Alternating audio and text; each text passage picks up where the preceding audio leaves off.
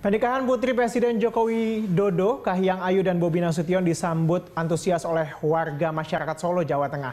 Para ibu-ibu, kuli panggul serta pedagang pasar Legi Solo menggelar syukuran dan bancakan nasi kuning.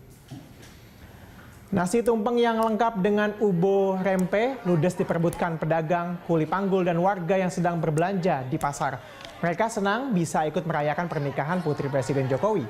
Para pedagang ini sengaja menggelar selamatan agar prosesi pernikahan Kahiyang Ayu dengan Bobi Nasution diridoi Tuhan Yang Maha Kuasa. Mereka juga berdoa agar kedua mempelai segera diberi momongan. Selain itu, mereka meyakini setelah mendapatkan nasi tumpeng pada selamatan itu akan mendapatkan rezeki yang melimpah dan mendatangkan keselamatan.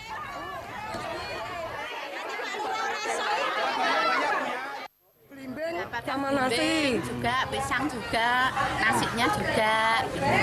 Ini dalam rangka apa sih bu tadi bu? Bancaan ini. Bancaan mantu Pak Jokowi. Jokowi mantu. mantu.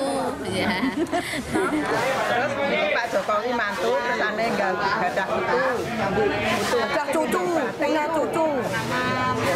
Biar secepat punya cucu. ya ya. Ya biar lancar biarin nagung rezekinya biarin sehat.